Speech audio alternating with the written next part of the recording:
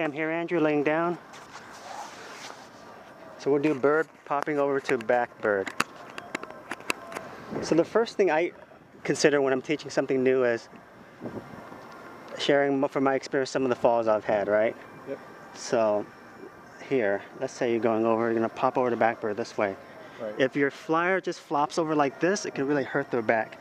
She, will Okay. She'll want to stag a knee as she pops over. Uh-huh. And I find this is less of a compression on the back, and it gives a really nice look, right? You have that nice stag look.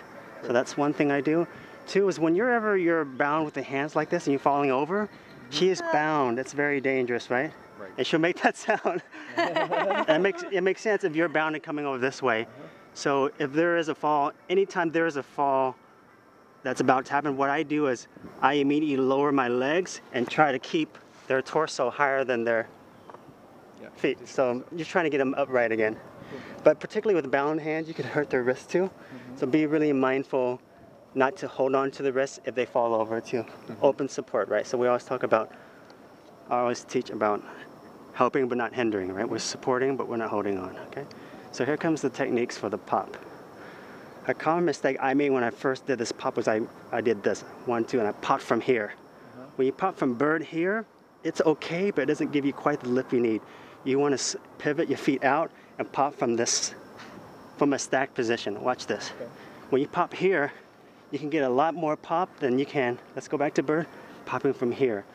The reason why is uh, once the hips are stacked, you're able to pop their whole body up and over. And this is key when you're doing things more advanced later, like popping into hand to hand. You know, it's it's not impossible. It's nearly impossible to get them from here over to this inverted position. But if you're here already, they're already in an inverted position. It's more natural for them to get up into like star, straddle, or back bird. Okay. Okay. Um, we'll come back down again. Okay, that's what Caroline was talking about. Uh huh. So coming back over. Good work on me. First thing I do, the hands, right? We know that the whichever way that you're going towards, you want that hand to be on top. And sometimes I'll, I'll see you've based enough so you know where the hand is. Sometimes those flies will go like this, right? So you have to be mindful of what point B is. Point B is star hands, right? You got to get into that. So my timing is I pivot out, I dip a bit. When you dip, it helps them stack their hips. And then from there, I pop up, then catch Yeah. over.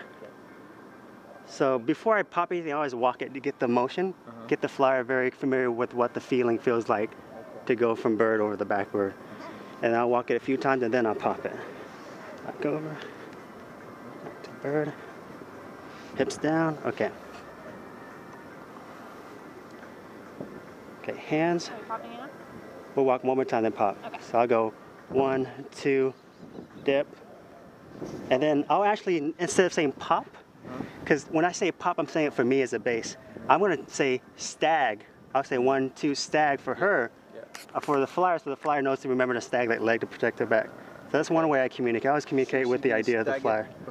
As you pop or before or after? I would say uh, right during. So let's go again.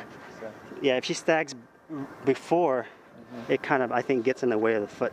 If she stags right now, I think it'll get in the way of the yeah, pop. okay. Yeah, it gets a little way. So So, I'll go one, two, stag, and then she stags in the motion. but you through. the other. Yeah, she stags. I think most of the time that's how I've stagged it on the right leg. The Uh, one that you're that you're actually throwing from is not going to be the stag. It's going to be the other one. I Uh, think it, I don't know if there's a difference. You tell me, Ami. from my perspective, Uh huh. um, I don't know why that one's easier because it's, It's the one natural, coming right? around the top. Mm-hmm. Because it's coming over. Either if either leg is stacked, then you're going to get the tension in the back. That's going to prevent it from just Okay. So being it doesn't hanging. Matter. Yeah. Mm, Let's stag that leg. See if it feels really awkward for you. So you're normally stagging this leg, right?